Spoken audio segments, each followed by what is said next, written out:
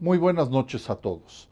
Antes que nada, quiero felicitar muy calurosamente a todos nuestros amigos de la MIF en su 65 aniversario, a nombre de los organismos que integran el Consejo Coordinador Empresarial. Para nosotros es de la mayor importancia el que la MIF se haya integrado a partir de este año al Consejo Nacional, porque entendemos la relación estratégica que hay entre la salud, la productividad y por ende el desarrollo de todas las empresas.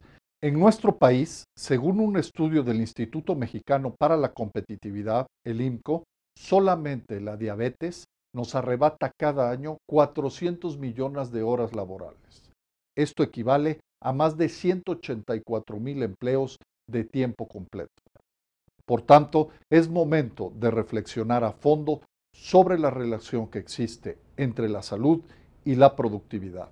No podemos esperar que haya productividad si no contamos con una población sana, capaz de desplegar todo su potencial.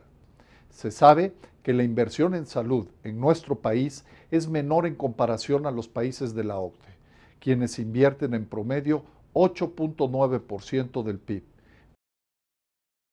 Tenemos que corregir esta tendencia, pues de lo contrario perderemos una oportunidad histórica para elevar indicadores fundamentales de nuestro país en la escena internacional. Una población sana repercutirá en una mayor competitividad y productividad. Cuanto más saludable esté una persona, menos posibilidad existirán de problemas como el ausentismo laboral o un descenso continuo en el nivel de calidad y de productividad. Por todo ello, el cuidado de la salud debe de dejar de ser un objetivo más para convertirse en un requisito y prioridad. Muchas felicidades y gracias por la oportunidad.